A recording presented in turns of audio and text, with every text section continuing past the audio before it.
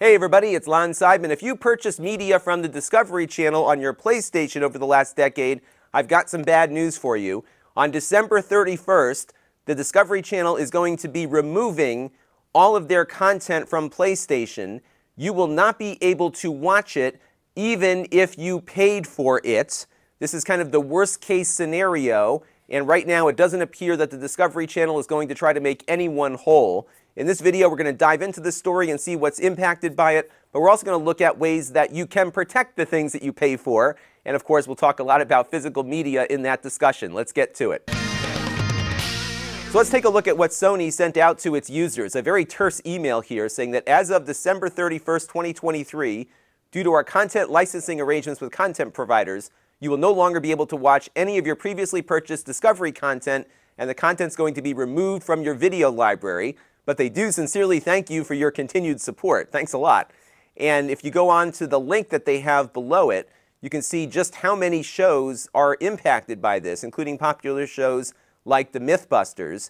And if you bought the whole season of The Mythbusters, for example, that's probably at least 100 bucks right there, and you've lost all of that value. And again, Discovery has not responded to my request just yet about what's going to happen with these users. This is one of the problems when you release a big announcement like this on a Friday afternoon. There's no way to get answers on this. So if I do hear back from Discovery, I'll let you know what they said. But right now, anything you paid for is going to be gone after the 31st of December. So what can users do about this? Well, unfortunately, not much, because when you purchase digital media on any of these major platforms, you're not actually buying a disc or something you can own and keep you're buying access to a license. That includes things like movies, TV shows, but also video games and music as well. So what are some solutions to this media ownership problem? Well, I think there are a number of ways you can solve this problem. I'm going to focus on the legal ones in this video because I don't want to get my uh, channel hit with some kind of strike or whatever, but I'll let you all pontificate some alternatives in the comment stream. But one thing these PlayStation users could do, and I think they would be within their rights legally to do so, is grab OBS, plug their PlayStation into their computer, and if they have the time, manually capture all of these shows so that they can preserve them, and that would be allowable because it is a home recording. Now, of course, the best way to ensure that you have control over your media is to buy it physically. I've been buying movies physically since I was a little kid, starting with VHS, going to Laserdisc, and now, of course, Blu-rays. And the other day, for example, I picked up this copy of Picard, which is the latest season, which is awesome. And in addition to getting the show in its best quality, nobody's going to be able to take this away from me because I have the physical media on hand. And one of the things that's still happening is that the creators really like issuing these DVD and Blu-ray releases because they can include special content and additional features so you can actually watch it a couple of different times and get a lot more out of what you are watching. And this has, of course, been a staple of DVD releases for at least the last 20 years or so. And of course, the best part about having things on physical disc is that I can watch them whenever I want without having to pay a subscription fee. But there's some problems. One is that not every TV show that I like has a Blu-ray release, but also we're starting to see some streaming services take things off of their services even shows that they produce themselves. HBO is a great example of that. And the other problem is that there is a declining market for physical media sales. It's not like you can't find these things out there, they're available, but people are not buying them as much because they prefer the all you can eat subscription. I know a lot of you watching have the opposite opinion, but a majority of the market feels that way. And even Best Buy is considering pulling all of their physical DVD and Blu ray discs out of their stores to make room for more inventory that might move a little faster. So we've got some, some headwinds ahead here. But the creative side of the industry still prefers physical. And it's not just the ownership component, it's that a Blu ray disc, especially a 4K Blu ray disc, can provide a superior video and audio standard to what you might stream over the internet. You have a much higher bit rate, you have lossless audio. It is a much better experience, especially if you have a nice home theater system. One recent example of that is Christopher Nolan, who was urging his fans to buy his new movie, Oppenheimer, because he says, so no evil streaming service can come and steal it from you. And it looks like a lot of people heard his call because they are having to replenish the inventory. Oppenheimer on Blu ray sold out, although it looks like inventory is returning now.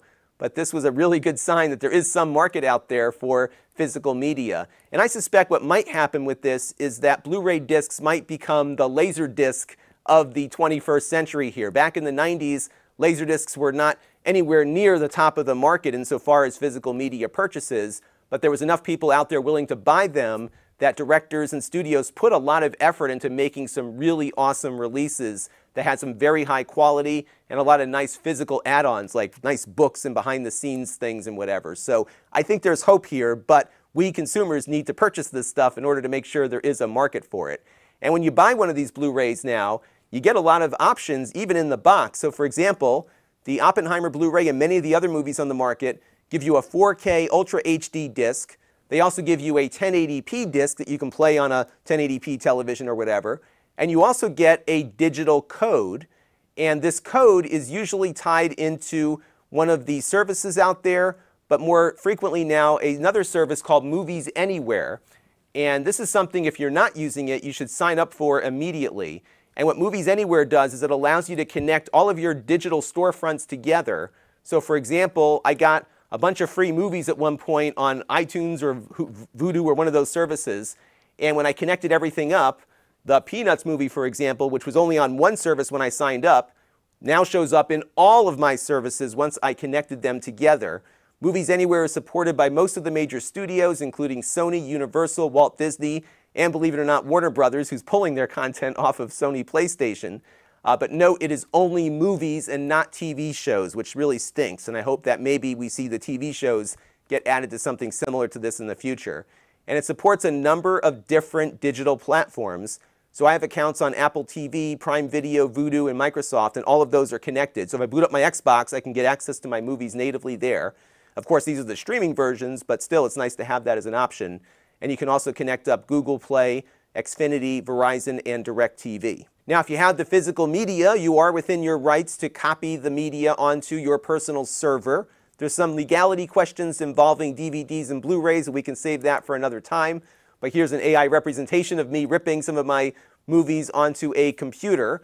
I like to store my movies in MKV format, and I use a tool called MakeMKV, and you can learn more about it on the link you see on screen here. The 1080p Blu-rays are pretty easy to work with. The 4K ones do require that you have a, a compatible Blu-ray reader along with maybe some custom firmware. It's a little more involved these days on the 4K stuff, but the 1080p stuff is pretty easy. Another tool that I like for DVDs is called Handbrake, and what Handbrake does is it converts the MPEG-2 video on a DVD to MP4, and it does it pretty seamlessly with a bunch of built-in templates for that conversion, and it works pretty quick on modern computers. And if you don't want to go through the hassle of ripping all of your movies, because it does take some time, you can actually use Vudu's service called Disc to Digital. This is really neat. So what you do is you scan the back of your movies, basically the UPC code on the back, and then you can purchase a digital license to that movie from anywhere from two to five dollars. So for example, if you have a DVD, you can get the HD version for five dollars plus tax. That'll show up in your Vudu account, but if the movie is on Movies Anywhere, it then will appear on all your other accounts as well. It's not as good as ripping because you don't get a DRM-free file, but if you're somebody who typically watches on one of these services, it's a great and quick and easy way to get a movie on those services for just a couple of bucks. Now, disc to digital, as far as I know, is just for movies and not television shows, so you will have to manually rip those TV show box sets if you want to get them onto your server. Now, what about streaming services? Well, there's one service that I know about, and I'm hoping maybe some of you have some alternatives also. PlayOn has been around now for probably five or six years. I'm surprised they haven't been sued out of existence just yet. They let you, believe it or not, record video from streaming services, and you can basically have their software pull down an entire season of a show, and it works. Now, I reviewed this a couple of years ago, and the company did something a little sketchy, which is why I'm hesitant to recommend them. So I purchased a lifetime license from PlayOn, which presumably would have me using the software in perpetuity. They then changed their product from whatever they had before to something that they now call PlayOn Home and PlayOn Cloud. And because they changed the product and they stopped updating the original version that I purchased, my lifetime license has no value anymore. Talk about discovery here. So that's why I'm a little reluctant to recommend them. But it does work remarkably well. And if you subscribe to their service, I think it's five bucks a month for the home version, you can capture 1080p video from a large number of services. Now, it does record the ads because it's pulling the video directly from the service. And I don't think they're bypassing the encryption, which is why they're able to get away with this. So whatever comes down is what it's recording. But it does work, and it's pretty cool that it does. You can see my review of the prior version here at lon.tv slash play on review. Now, what about legalities? Well, again, they haven't been sued out of existence after almost half a decade, and they claim that they're just a DVR, and they believe they're basically protected by the big Sony Corp versus Universal Studios Inc., uh, which happened back in 1984. This was the Betamax ca case about home recording. And there was apparently another case in 1999, which was the uh, Diamond MP3 player that everybody was suing people over. So they are basically hanging their hat up on those two big decisions. They also say that it's a fair use. That one might be more of a stretch, but that's what they're saying is protecting them from a legal standpoint. What's not clear, though, is whether or not the terms of service in those streaming services allow you to do this. So, for example, if Netflix detects you downloading content with this tool, they could decide to cancel your account. That's within their rights. Additionally, it's not clear what the legalities are after you unsubscribe from Netflix and still retain the media that you recorded. But if you're looking for some way to basically archive some of your favorite shows from streaming services, PlayOn might be a way to do it. Now, I would love to know what you are doing to preserve your digital purchases. I will probably do a follow-up video of some other legal suggestions. I'm definitely looking for an alternative to PlayOn given the fact that my lifetime license is now worth nothing. So let me know down in the comments section how you're preserving things and maybe we'll do a follow-up video with more detail with some of these solutions. And that is going to do it for this look at Discovery's deletion of PlayStation content. I am sure there will be many more stories like this in the years ahead. We're hitting over a decade now of being able to purchase media digitally. So this is just the tip of the iceberg. Buckle up, but there are some ways you can preserve your media. And of course, the best way is to buy it physically. That's going to do it for now. Until next time, this is Lon Seidman. I'm finally feeling better, by the way. I know a lot of you have noticed I haven't sounded so great. I've been sick for three weeks almost with apparently bronchitis. I finally listened to my wife and went to the doctor. So I'm on the mend, but it's going to be a few more days of a raspy voice here, but I'm doing good. We'll talk to you soon, and thanks again for tuning in. See you next time. This channel is brought to you by the Lon.TV supporters, including gold level supporters Brian Parker, Budley, Hot Sauce and Video Games, Steve Green, and Amda Brown. If you want to help the channel, you can by contributing as little as a dollar a month.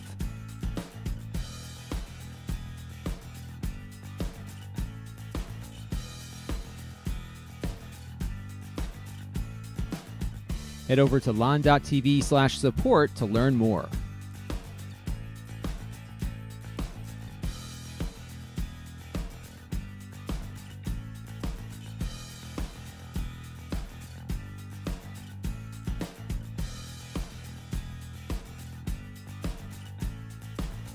And don't forget to subscribe. Visit lon.tv slash s.